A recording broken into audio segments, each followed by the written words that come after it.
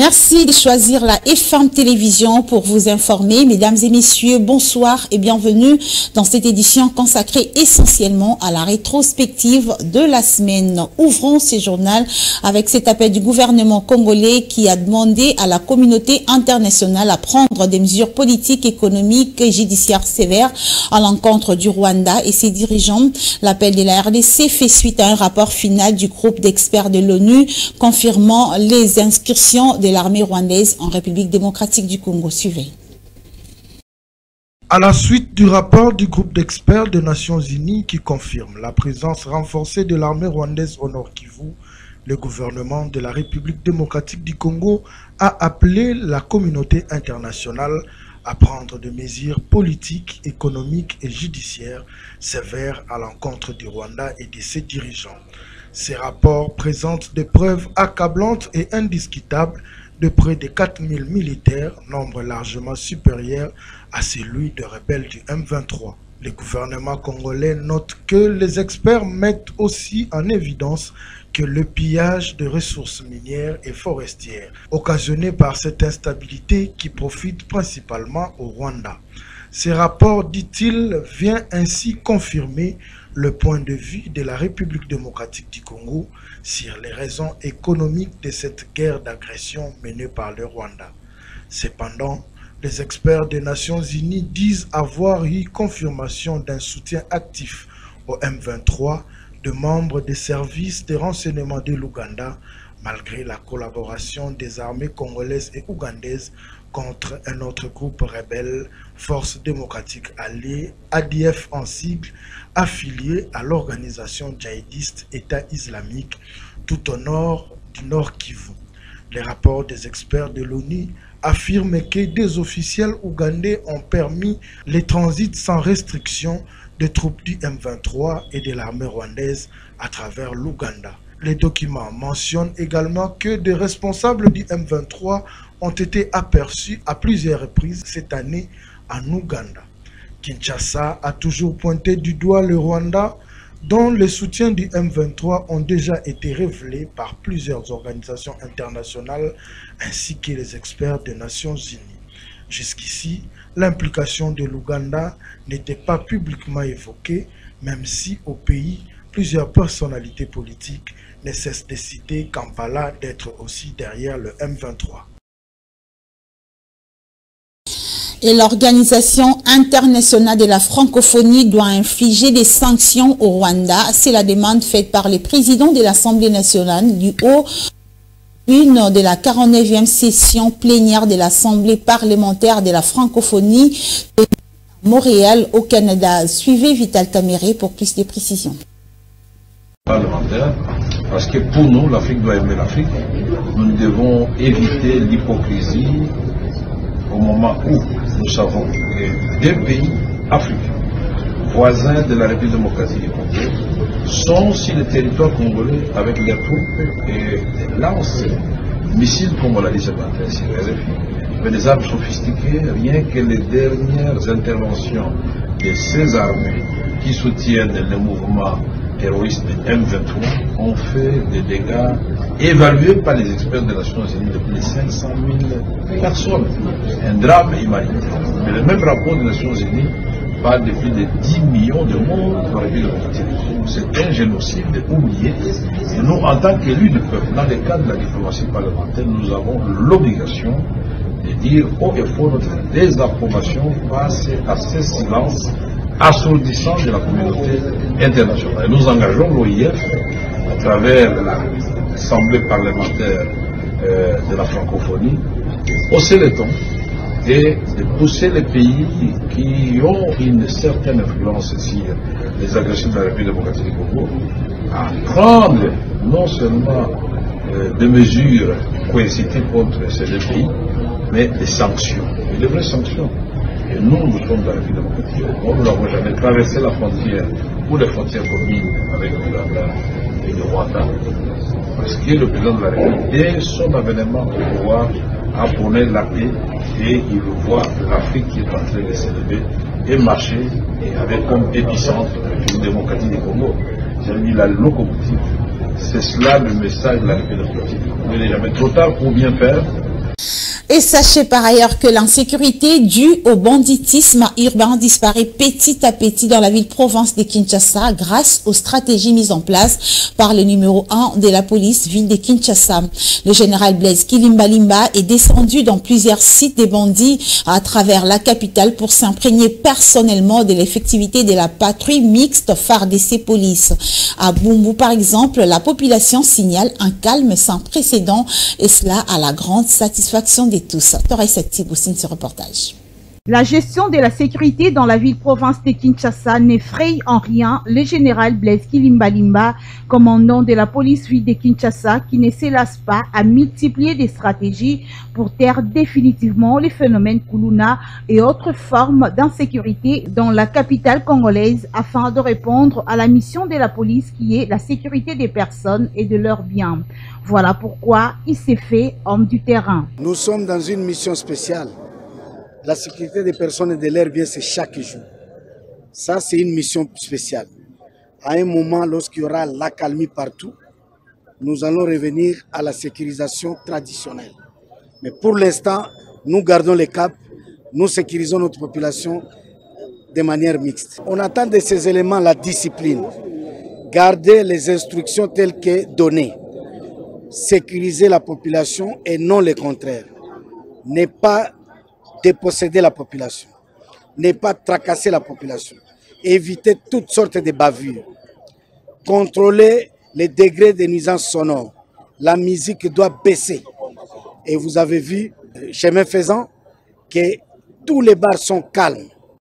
Le général Blaise Kilimbalimba a pris la commande de la capitale congolaise lorsque l'insécurité avait pris l'ascenseur avec les phénomènes Kuluna d'un côté, les kidnappings de l'autre qu'il a réussi à balayer d'un revers de la main, sans oublier autres formes qui se sont annoncées et dont il continue à multiplier des stratégies pour l'instauration de la paix à Kinshasa. À travers l'inspection faite dans plusieurs points de la capitale pour vérifier l'effectivité de la patrouille mixte FARDC Police qui vise à terre l'insécurité, les résultats sont positifs tels que les témoignent avec précision et joie les habitants de la commune de Bumbu, un coin réputé dans le banditisme.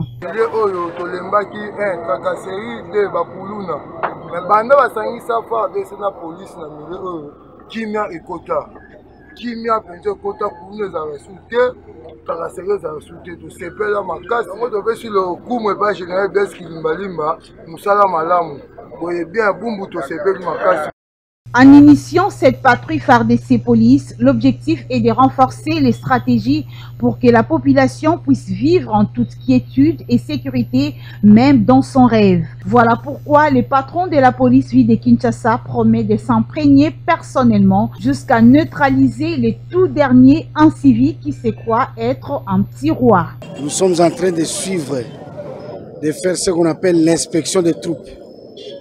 Vous savez, il n'y a pas longtemps, D'aucuns se demandaient quelle stratégie pour diriger la ville-province de Kinshasa. Pendant cette période où il y a trop de menaces, les menaces de tout genre, les Kuluna, les tentatives de putsch, ainsi de suite. Et il a fallu qu'on puisse privilégier la prévention. La prévention, c'est cibler tous les quartiers criminogènes et y déployer les unités mixtes de la police et des forces armées de la République démocratique du Congo. C'est ce qui a été fait et là nous sommes en train d'inspecter et de constater que c'est satisfaisant. D'autant plus qu'il y a réduction sensible de ces crimes-là dans les quartiers qui étaient criminogènes Très serein et homme de comportement, le général Blaise Kilimbalimba est trop décisif et déterminé, surtout lorsqu'il faut imposer la loi. Le patron de la police, lui de Kinshasa, devient méconnaissable vu que seule la sécurité de la ville de Kinshasa lui préoccupe. L'actualité, c'est également cette crise qui secoue le parti présidentiel IDPS. Plus de 30 secrétaires nationaux désavouent le secrétaire général Augustin Kabouya et le poussent à la porte de sortie pour mégestion, selon leur dire. À Kinshasa, certains Kinois appellent euh, l'apaisement à l'UDPS afin de trouver des solutions durables. Euh, leurs propos dans ce reportage réalisé par Albert Ikangi et Rabi Fouka. Biso nyonso tomonaki awa na bane 2017 2016 biso nyonso j'espère tosalaki bamarshe nyonso wana tosalaki yango mpo toganie mwa eloko moko boye na kati ya mboka na biso. Mais aprésent mpo na idps etanke pouvoir eza na maboko na bango fo baaplike baloi d'après son excellence papa kabuya ayeba nini o peuple congolais alingi? Nini mpe lisusu oyo balingi na kati ya ya parti bango oyo bazali. Fo baaplike nde mibeko. Yango ekosala ke sa soit mboka ekende bien yango ekosala ke sa soit emaintenir pouvoir oyo eza na poste na bango. Yango nde ekosala makambo nyonso tu ezala lese eteni lokondo ntango azalaki ministre ya sante atikala jamais koengage bakombata na kati ya, ya ministère na ye te. Ozo comprendre. Ata na hygiène oyo koloba ke bakombata banda ko kocircule na kati ya barestaurant na babalabala kotala bato oyo bawasalasala boye. Atiala kosala yango te. Lelo sikoyo aye kotelema mpo akweyisa nani? Cg kabuya. Eza mabe te nini? Jesu mpe ya kabuya eza malamu te. Tomoni makambo kabuya asali. Asali na ye makambo kasi na profondeur ya moko te. Président de la république parce que président ye moko aza lokola peur de la famille. S'il y a un ça ne va pas, qu'il ne marche pas dans la famille, bien des fois, ça va tourner, comment euh, commettre un peu l'ordre hein, au sein à partir de Bango. Augustin Kabouya peut, a un esprit à écoute, c'est que ses amis peuvent aussi dire et qu'on appelle l'initiative bien pour le changement. Dans le même registre, filtration au sein de l'UDPS, la famille politique du parti présidentiel réclame la restauration de ces partis par la tenue d'un congrès devant aider les partis à sortir du gouffre. Propos de l'analyste politique Omer Biaï qui l'a dit au micro d'Elvis Meti et Torres Satibou. Suivez. Je suis parmi les gens qui mènent ce combat de réorganiser le parti. Pourquoi on doit réorganiser le parti? Je ne suis pas pour X ou Y. Ici, c'est le survie de notre parti. Je menais les combats depuis l'opposition. Mon père fut le premier président cellulaire de l'organe de base dans ma commune de Makala, précisément dans le quartier Malala. J'ai commencé la politique à la maison et j'ai sacrifié plus de la moitié, je l'ai passé à l'UDPS et je sais pourquoi. Nous avons mené le combat pour faire l'opposition devant la dictature. Et notre parti aujourd'hui au pouvoir, nous ne sommes pas venus au pouvoir rien que pour laisser les pouvoirs après des mandats. Nous sommes venus pour conserver et puis appliquer réellement notre projet de société qui se résume au peuple d'abord, c'est-à-dire de soutenir le chef de l'État actuel, mais de s'organiser pour voir comment conserver plus longtemps possible le parti. Le secrétaire général qui est actuellement, M. Augustin Kabouya, que j'ai beaucoup d'estime, je l'ai toujours dit, c'est à son époque que l'UDPS a eu beaucoup de députés nationaux tout comme provinciaux. Là, je l'ai toujours dit. Et ici, ce n'est pas le problème d'un individu, mais c'est le problème d'organisation de notre parti. L'organisation que nous cherchons, c'est pour essayer un peu de réfléchir, de voir aussi les vrais cadres, les gens qui ont milité, qui ont combattu le vrai combat. Aujourd'hui, ne se retrouvent pas, ils ne sont pas dans des postes. Aujourd'hui, on est en train de faire, le chef de l'État est entouré plus de 90% les gens qui ont adhéré l'UDPS qu'au soir. C'est-à-dire les gens qui n'étaient pas sur le terrain.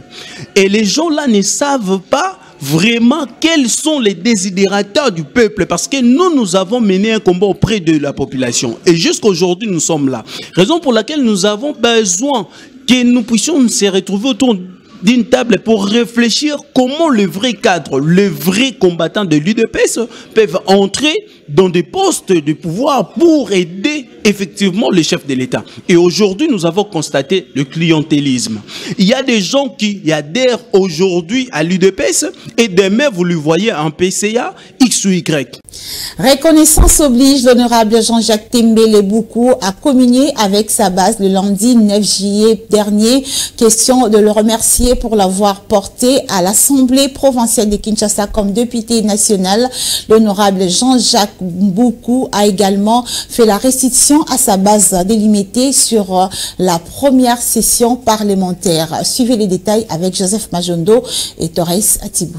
Reconnaissance oblige, les députés provinciaux élus de la circonscription électorale de Limité, Jean-Jacques Tembele Beaucoup a profité de ces moments de vacances parlementaires pour communier ensemble avec les siens au nom de la fondation qui porte son nom. Ces partages procèdent d'une fils de l'humité et les signes de remerciements à ces électeurs qui l'ont porté à l'Assemblée provinciale de Kinshasa. Jean-Jacques Tembele a saisi l'occasion pour restituer l'essentiel de la session parlementaire du mois de mars.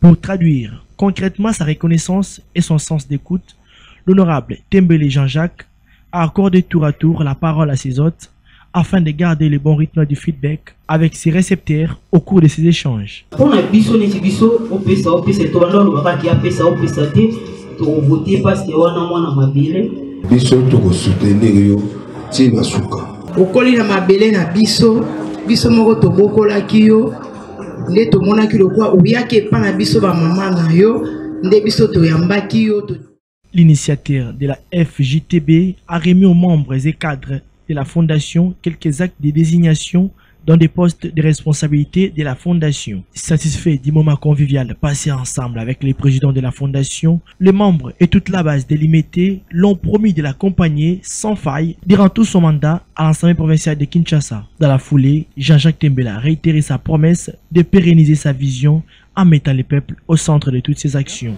Notre euh, rassemblement de, ces jours a pour motivation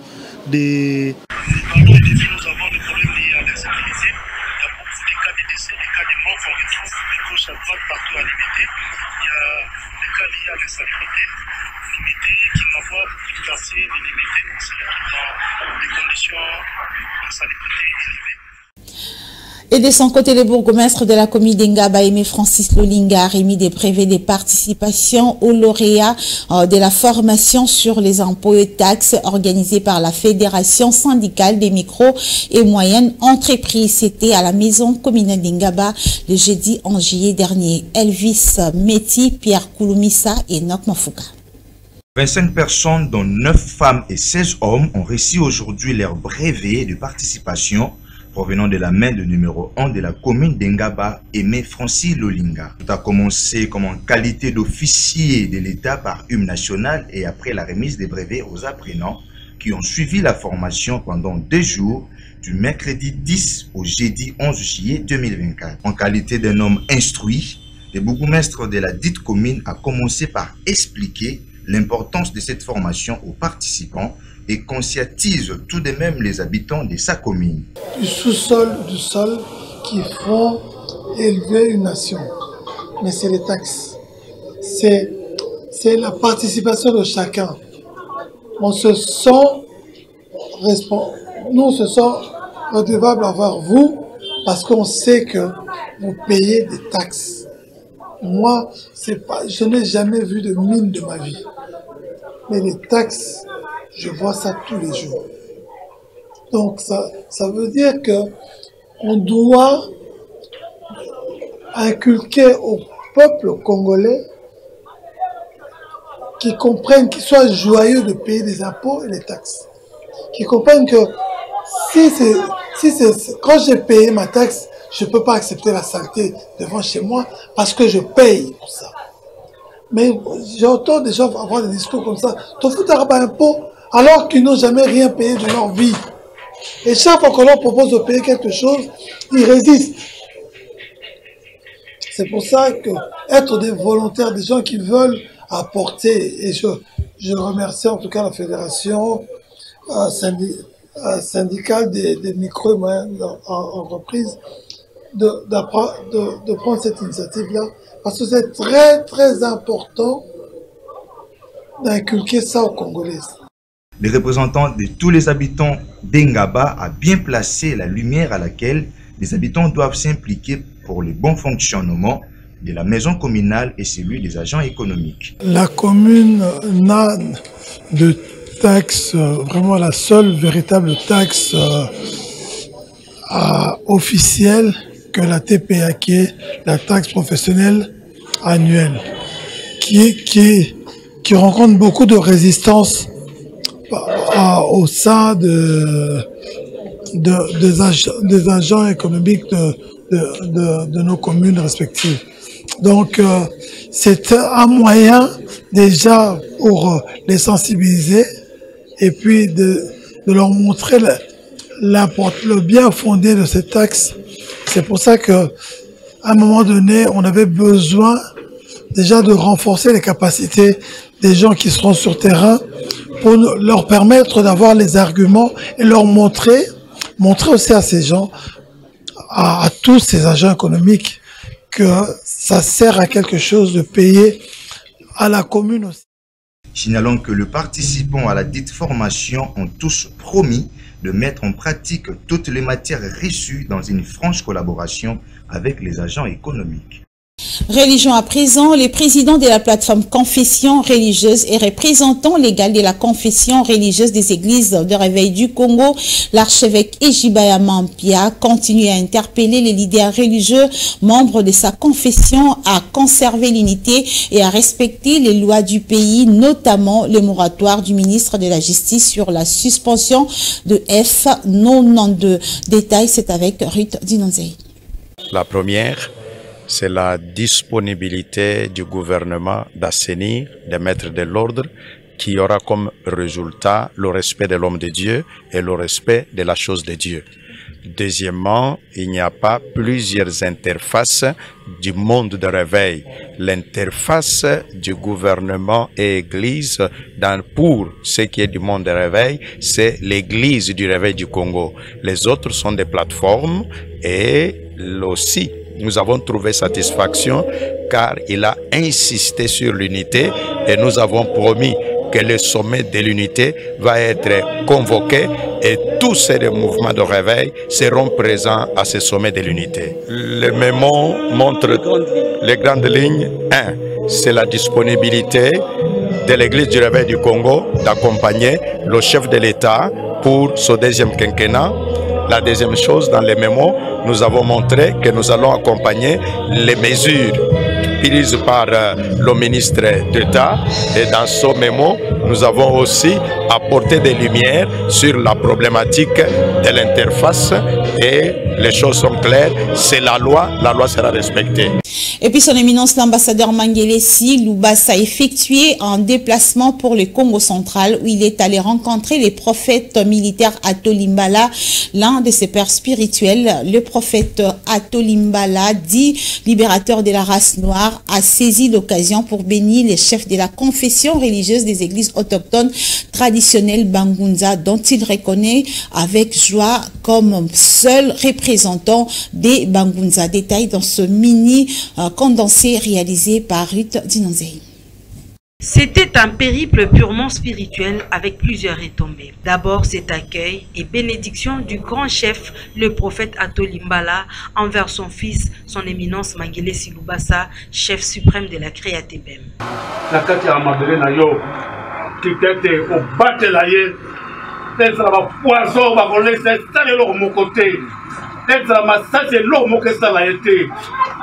Ya solo etinenga na kati ya mokili mpona koneutralize mai moto mabe. Geste qui a poussé le chef suprême et président général des Bangunza de définir les raisons de sa descente de reconnaissance. mwana azwaka pouvoir pa tata na balabala te. Mwana azwaka pouvoir pa tata esika tata azali. Soki azali mwana aponama na tata po akita oba tata oti tata apesa ye nzela ya makasi mosusu.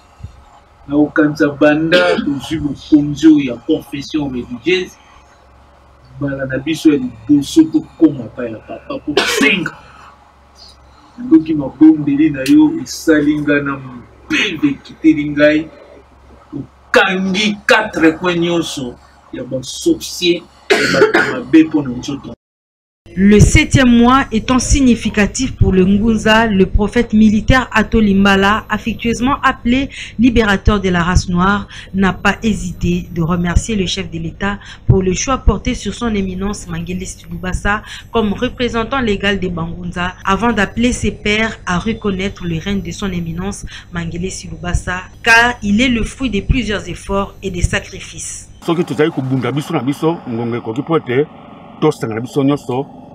Tozali kobunda biso na biso nyonso liboke moko nyonso na nsima ya papa na biso mangelesi koloba teke o ya azala lingomba te. Ya azala na mangomba nyonso ezali ya ye. Ntango papa mangelesi avaki azwa na ntango ya joseph kabila ntango banda kala. Azalaki kotambola bipai nyonso tu azopesa conseil. Ye azomema basango na biso azomema yango partout yango nde topesa ye nkombo ambassadeur ya bangunza.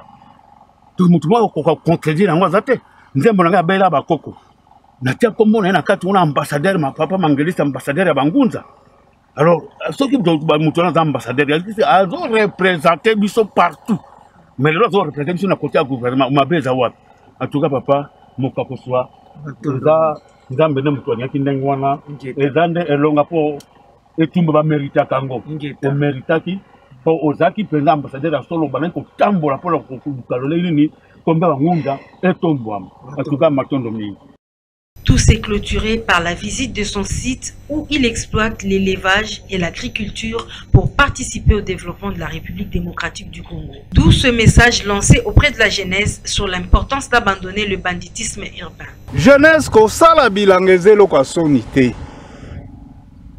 Eza mosala. Ex- toza koexploite mabele mabele na biso eza mabele moko fertile olie toyungana? Olie toluka? Vi na kati ya mabele na biso tosimba bamashete mpona kopapaka bato. Eza soni. Sengeli tolona totika nano ba- bozoba oyo bagene olieke bamipesa na misala kokende kokatakata bandeko na bamashete mashete basala yango mpona kosala bilanga basala mpona kokatakata bato te. Epuis eza eloko ya soni oyo ezoleka na kati ya mboka na biso. Bitumba paya bazwa kobundisa biso biso na biso mpe nano na désordre koboma na biso na biso eske vraiment eza malamu? Yango na kosenga mpenza na bagene nyonso bazoyoka nga. Atuka tomipesa na bilanga. Soki olobi o te naza na esika te mona ngai nakopesa yo esika osala bilanga Le libérateur de la race noire, le prophète Ato Limbala, qui a reçu son appel il y a plus de 30 ans, a sorti des valises contenant des différents ouvrages dont il confirme avoir découvert le secret des hommes blancs pour la colonisation spirituelle de la race noire. Affaire à suivre. Le chrétien de l'église Lilo Bananzambe était le dimanche 7 juillet 2024 au stade des martyrs de la Pentecôte dans le cadre de la célébration de la 26e Sainte Sainte organisée par cette église, une cérémonie haute en couleur à laquelle plusieurs personnalités politiques et religieuses ont pris part à cette grande cérémonie sacrée. Détail avec Alain Goma et Elvis Meti. Venus de tous bords, les fidèles de l'église Lilo Bayanzambe ont rempli le stade de martyrs comme un œuf pour célébrer la 26e Sainte Seine.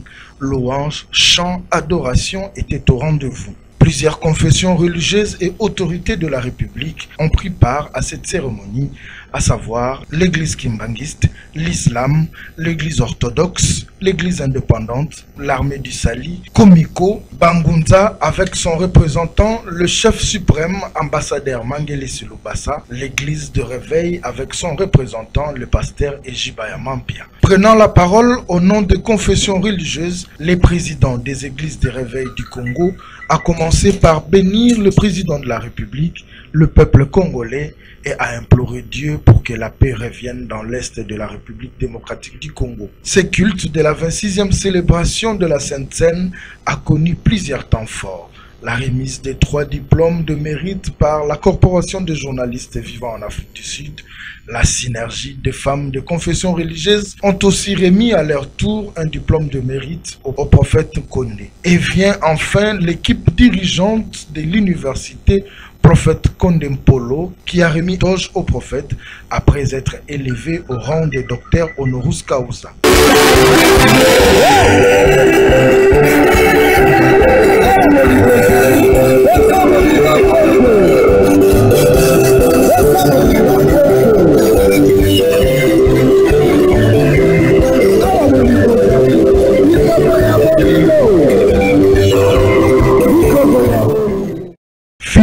Ces étapes, place à la Sainte Seine, table dressée pour commémorer le partage du Christ avec ses disciples. Le prophète Condé a rendu grâce à Dieu avant ces moments de partage avec tous les fidèles de son Église. Le bénédiction, ton Père, s'élève au-dessus de bénédiction de mes pères, jusqu'à la cime des collines éternelles. Qu'elle soit sur la tête de Joseph, sur le sommet de la tête du prince de ses frères. Encore répondre. Les bénédictions de ton Père s'élèvent au-dessus des bénédictions de mes pères, jusqu'à la cime des collines éternelles. Qu'elle soit sur la tête de Joseph, sur le sommet de la tête du prince de ses frères. Retenons que la célébration de la Sainte Seine ne se fait qu'une seule fois l'an. Religion toujours pour terminer, à quel Damas, nom vous paraît peut-être neuf, oui, il s'agit du thème de la croisade d'évangélisation organisée par le comité du 18 au 21 juillet prochain. Qu'en est-il exactement? Suivez à ce sujet le pasteur Michel Omata Louata, l'hôte de ce grand rendez-vous sacré qui a été reçu à l'émission Église aujourd'hui de la FM Télévision pour plus de détails sur Akeldama. Vous pouvez monter dans un avion qui demain peut faire un accident et vous tuer.